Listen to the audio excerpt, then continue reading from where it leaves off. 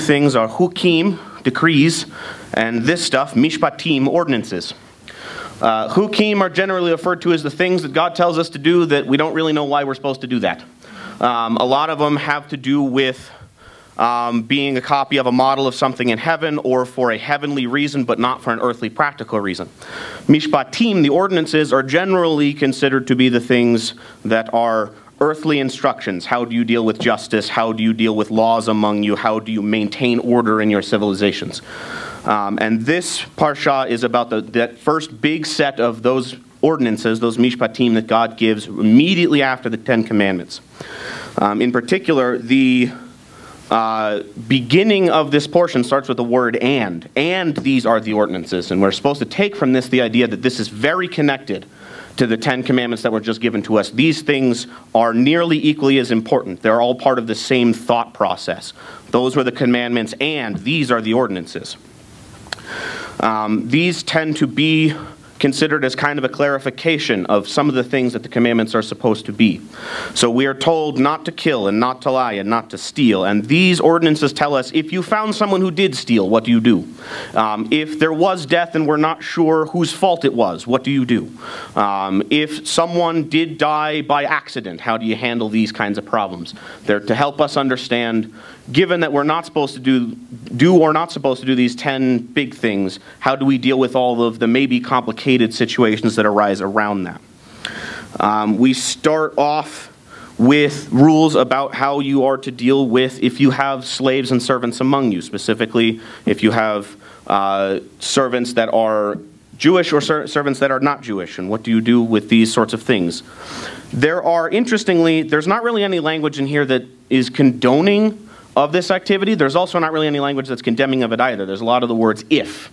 If you have a servant of this kind, this is what you should do. If you have a Jewish slave, this is how they should be treated.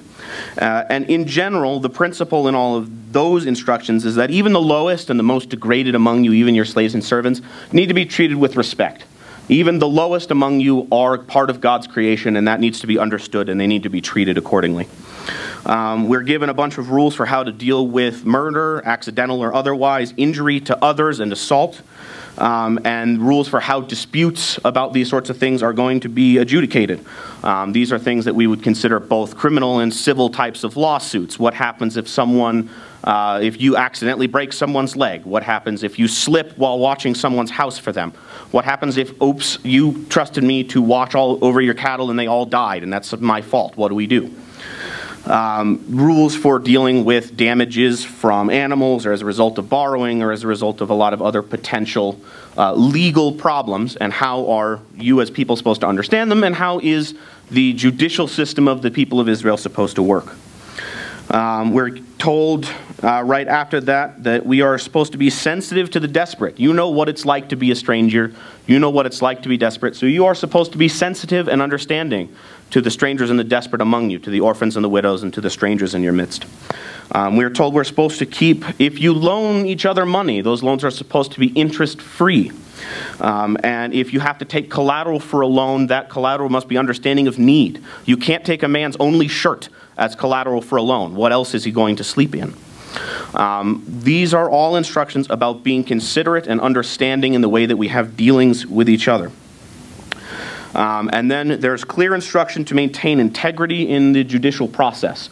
That when you're trying to figure out who is guilty and who is not, that you be discerning and that you have wisdom in these matters. That you do not fall prey to false witnesses or people trying to trick you into certain judgments.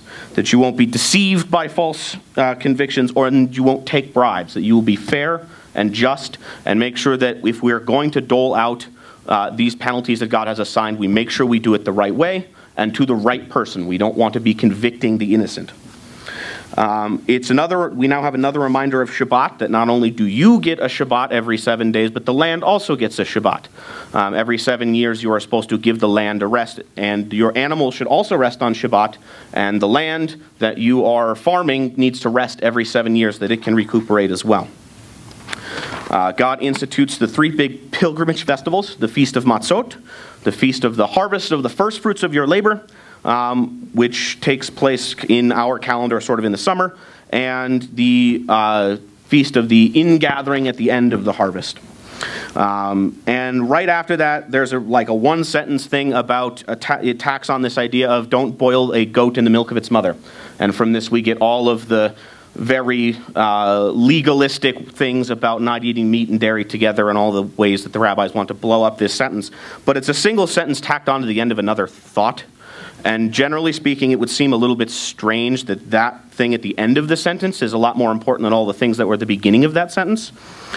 Um, after this, we have God giving a promise of a swift delivery into the land, which turns out takes a very long time. But part of this swift delivery into the land includes a reminder that the people of Israel are supposed to be faithful to God. I will deliver you into the land, I will remove all the people that are there in your way, and you should be faithful and remember me. And they don't do a very good job of that, and as it turns out, this swift delivery took a very long time. Um, and the people of Israel, immediately after this, they respond, All that you have said, we will do. And the word that they use there when we say do means we, we, we hear and we will obey. We, will, we have heard and we are going to act on what we have heard. It's a very strong word implying that there is action going to be taken. We have heard and we will do these things. Um, at this point, Moses, Aaron, Nadab, and Abihu, and 70 elders uh, go up the mountain. Uh, and what it says is they saw the God of Israel and they lived. And the rabbis get very uh, confused about this, and there's a whole lot of arguing as about how is that the case. Because we're told several times in other parts of Scripture that no man can see the full presence of God and survive. But it turns out that Moses and Aaron and Nadab and Abihu and 70 elders of Israel all went up the mountain and did not die. And they saw the God of Israel. And not only did they see him, they hung out and had lunch. They sat down and they ate and they drank and they partied.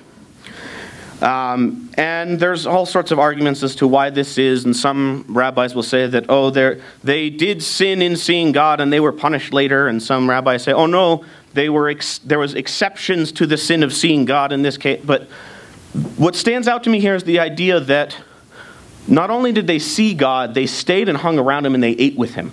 And they ate and drank on the mountain and had a good time. And it, it speaks to the character of God of what does he desire.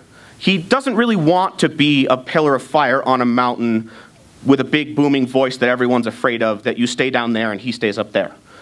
God wants you to come have lunch. God, God is calling. He wants to know about lunch. He desires to be a God that's with us. The same way the original intent in the garden was that God would come hang out with us in the afternoon. Not that he stayed up in the clouds and we stayed down here and we didn't talk and he would cast commandments down upon us from on high. He came and walked with us in the afternoon in the cool parts of the day. He wants to come hang out. He wants us to come to him and hang out with him.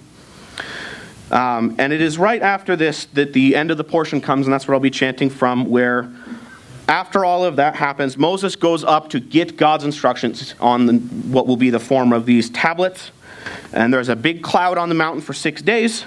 And Moses goes up the mountain and stays there for 40 days and 40 nights, and who knows how it is that he ate and drank up there, but God provided for him. And that is where the portion ends, and I'll be chanting those last uh, four passages. But I think the thing, at least this time reading through, that I wanted to remember is this idea that God doesn't want to be a cloud on a mountain, He wants to be someone that we're hanging out with.